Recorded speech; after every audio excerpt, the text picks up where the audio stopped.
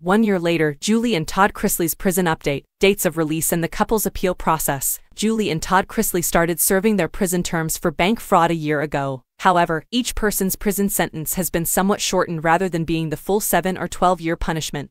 Their lawyer discussed the development of the legal battle over their conviction for financial crimes in a July People magazine article. The 11th Circuit Court of Appeals can reverse the district court, or they could remand the case back for hearings that should have been held but weren't held during this trial. Weiner Law Group LLP partner Jay Surgent said to People, we made a strong case that their constitutional rights had been infringed, and thus, in essence, no fair hearing was granted to them. Actually, it's all in black and white. Julie and Todd Chrisley, who are they? Posing as real estate moguls, Todd and Julie Chrisley rose to popularity on the USA Network with their reality series Chrisley Knows Best, which chronicled their close-knit, gregarious family and their opulent lifestyle in Atlanta and Nashville. By its seventh season, the show had garnered over 2 million viewers, and it served as the model for spin-offs including Growing Up Chrisley, and according to Chrisley, the Chrisleys turned themselves into their separate jails on January 17, 2023, exchanging their opulent lifestyle for a sentence of imprisonment. The reality TV couple, according to the prosecution, was motivated by greed when they carried out a complex bank fraud operation and subsequently concealed their wealth from tax officials,